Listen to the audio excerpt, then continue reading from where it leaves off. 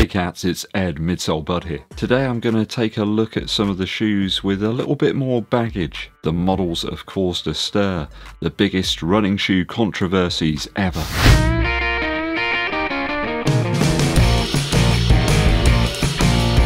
Thanks for tuning in people, hit that subscribe button and also give this video a thumbs up like. Comment below as well to help out with the algorithm. Dankeschön. The first controversy, I'm going to start back in 1978. A vintage year for running shoes, Nike released the Tailwind complete with a full-length air sole unit. I think it's pretty much full length this, almost all the way to the end there. That was quite the tech back in the day, Nike were really proud of that stuff and they were trying to get it into as many new shoes as possible. Don't forget that Nike were quite a small company back then as well, not the behemoth that they are now. They were just trying to get their foot in the door in terms of athletics tech. No pun intended. I really do think that air technology as well helped them to get to where they are today. More of a lifestyle brand, I suppose. It's basically the same air and foam design as we have in the Alphafly, but I'll get to that in a bit. This shoe was released in 1978, albeit at a reduced stock level at the Honolulu Marathon, then it got a much larger release in 1979. Nike did even have to advise people that these shoes might feel a bit strange on foot to begin with. They had to reassure runners that that sort of sinking feeling in the heel was actually okay. There was a little bit of time for adaptation that you would need to get the best out of the shoes. It's pretty much exactly what they say now about the Vaporfly and the Alphafly. Also, they did tell people that they should never put these into the washing machine, but that goes without saying, right? The Tailwind at the time was one of the most expensive running shoes out there, though it did come with some quality issues, so nothing's changed really between then and 2024. Apparently, the silver paint on the shoes would flake away and shed from the upper, it forced Nike into a mass recall of the original run of the shoes. Within Phil Knight's memoir, he mentions how the shoes caused quite a stir. I mean, that's been something that Nike have been doing ever since, isn't it? After 10 days of the launch, it was found that small fragments within the metal paint used on the shoes caused the upper sections to rub and just literally fall to pieces. After loads of refunds and returns, they realised that perhaps introducing so many new innovations into one shoe at once was probably not the best idea.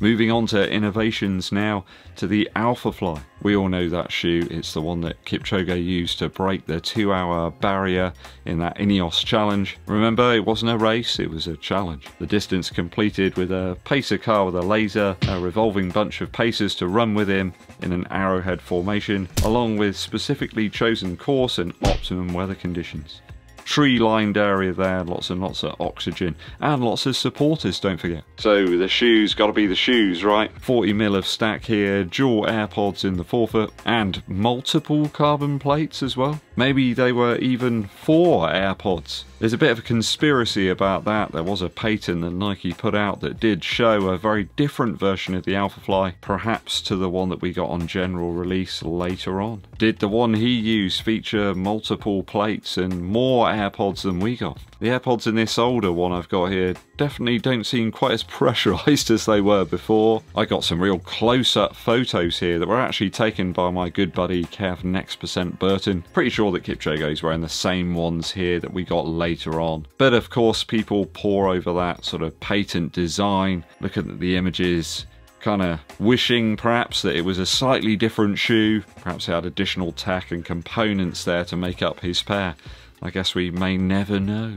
So basically, the Alphafly caused World Athletics to come up with a new set of rules that all new race shoes would have to adhere to if they're going to be allowed in championship racing. The sole must be no thicker than 40 millimeters in the sample size. You're only allowed to have one rigid plate within the shoe. You're not allowed to stack them or have them overlapping or anything like that either. So they tried to put some barriers onto the shoes, but of course that didn't stop people, did it? When you got the Alphafly, it looked like it was going to be the biggest one ever. Adidas came to spoil the party. Bigger midsole and bigger controversy. So in 2021, Adidas released the Adizero Prime X. That's a 50mm heel stack shoe in the sample size. It was kind of met with bemusement really by a lot of runners is it like a race shoe? Is it a training shoe? Can you even run in it if it's got 50 mil of heel stack? Well, the answer is yes, you can run in it. And I think for most people, the answer was It's a training shoe, really, like a long distance one. Yes, it's illegal for elite championship runners to wear, but for absolutely average folk like us, yeah, it's absolutely fine. As long as you're running on nice straight roads with no debris and sharp turns and stuff, yeah, good to go. I gotta be honest, I found it quite a stable shoe really. This is the strung version, so slightly different upper, but the midsole is exactly the same as that original. I found it to be fantastic on long runs in training. That massive midsole helps to reduce the fatigue and strain on the legs. And it's one of the most durable shoes ever. I think it's about 150 miles on this and it's pretty much perfect really. Just got better and better. The midsole foam actually got a little bit more squashy and forgiving over time. Just creates a bit of an effortless feel really. Maybe the heel stability for some people won't be quite on point and it's a very narrow heel back here as well. Quite different in fact to the Alphafly where you got a lot more heel width. The Prime X really is sort of like for faster paced longer runs. I found the shoe really reduced my heart rate down as well. I could run at sort of 730 per mile pace and it was almost like easy I suppose. I think if you were using it for marathon training to like absorb the impact of those miles it was ideal. But of course there was one runner who thought that you know he'd try his luck maybe and wear it in a race see if he can get away with wearing it in a marathon. I mean, who's going to notice, right? Back in September 2021, Derara Hurisa used the Prime X rather than the Adios Pro 2 and won the Vienna City Marathon in 2 hours 9 minutes 22 seconds. I mean, it's not quite an insane record breaking time or anything. I think he was only about 3 seconds faster than the guy in second place. But he still won the event nonetheless and then was promptly disqualified. It was found that he was wearing the wrong shoes. Sounds like something out of a Wallace and Gromit episode. Apparently the kit that he'd had checked the day before, that featured the Adios Pro 2.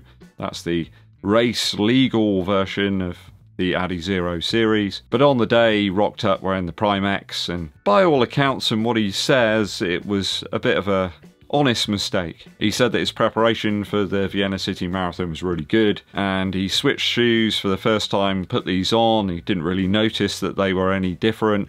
He said that the colours were very similar. So I guess, know, it could be an honest mistake. He suddenly realised maybe near the end or afterwards Perhaps he thought, oh, this is nice and easy today, you know, it's just like a long run with the guys. But as soon as he finished, someone came over and informed him that he had in fact been disqualified. I guess the Pro 2 and the Prime X originals look close enough, I suppose, in the upper. Very similar materials there. But surely he would have detected some difference underfoot. I know I certainly would. Going down the stairs in these, you've got to be a bit careful. Adidas have always been keen to mention that this is very much like a concept running shoe. They're sort of like training purposes, a model designed without limitations to push the boundaries of the current running technology available, and they created it consciously being outside of the World Athletics guidelines. So they're being very, very forthright with that. Obviously, the Prime X led us to have lots of other sort of illegally stacked shoes, like the Kinvara Pro here. Not quite the same underfoot feel, and of course the slightly more popular Superblast as well from Asics. That one really is a winner, just keeps on going. I mean, when you look at some of the stuff we got today, we really have come a long way from the air sole unit that we had in the Tailwind. Although, looking at the back of the shoe here, there's that really aggressive bevel that we're seeing on quite a few shoes nowadays. So, it seemed like we've made a few steps forward and a few steps backwards, perhaps. So that's three of the biggest running shoe controversies we've had over the last few years. Let me know your thoughts and opinions on these down in the comments. Very quick musical interlude for you.